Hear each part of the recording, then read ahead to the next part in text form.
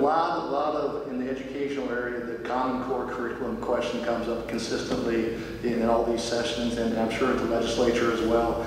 Uh, Common Core curriculum seems to receive quite a bit of press and conversation.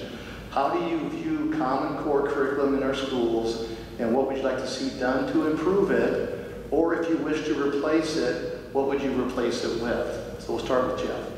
Yeah, there's no question that uh, Common Core, or, or what is referred to here in Iowa as Iowa Core, uh, gets some people upset. Um, and, and yet the thing that that's, I find interesting, I've knocked on about 500 doors now in, in Sioux County as I work my way through the various communities. I haven't had a single person raise this issue. Okay? Um, it, the, the thing that I'd initially just respond to the framing of the question is Iowa Core is not a curriculum. It's a standard. Okay? As I've talked to uh, people like Russ Adams and Pat O'Donnell and Don Ortman, uh, you know, this is just a, a, a standard that is set so that you can compare across schools and even assess teachers within schools. And it's up to locals. It's a local issue. And I don't think like Sioux Center Christian or MOC or any of the other schools would align with this if there was a whole bunch of bad stuff in there. Because again, we shouldn't be pitting parents against educators. These aren't nameless, faceless bureaucrats. These are our neighbors. We go to church with them. We see them at ball games and at the grocery store. And so, like Kevin said, if you're not happy with the, you know, what's going on locally and how they're deciding to try to meet or exceed those standards, run for school board.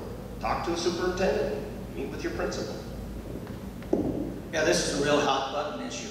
Everybody's talking about this one, but uh, I'm sorry, I agree with Jeff, nobody's ever brought it up to me. In the grocery store, I see thousands of people a week, and they don't bring it up to me. But uh, I've gone to all the superintendents in Rock Valley and Sioux Center, Christian school, public school. I've gone to the principals, I've gone to school board members, I know two school board presidents, and I've talked to them all, and they all tell me the same thing. It's not the Iowa Core that's the problem that you're worried about, it's just setting a standard. They pick their own curriculum.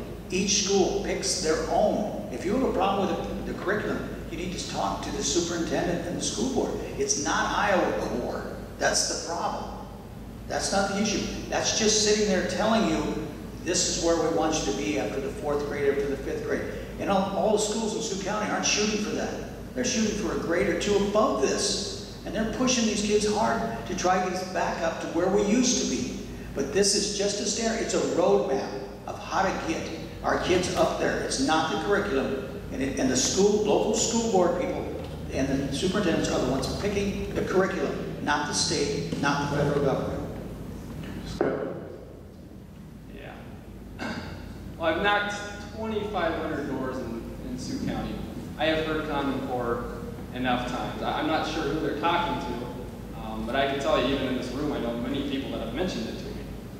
What I see with Common Core is I've gone through the Iowa Core standards. I've gone through the, the founding, you know, how Common Core started, and Bill Gates, the big supporter of Common Core. He even comes out and says, we're not going to know until 10 years if this even worked. It wasn't research based.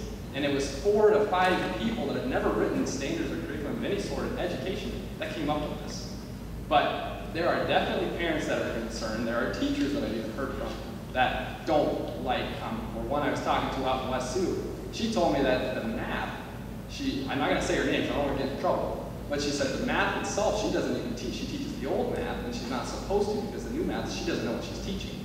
And so my suggestion is to get that out, to return education to the localities, let the school boards and the parents and the teachers and the staff have a say on the curriculum and the standards. That's how it should be, that's how it used to be, and that's how it needs to be.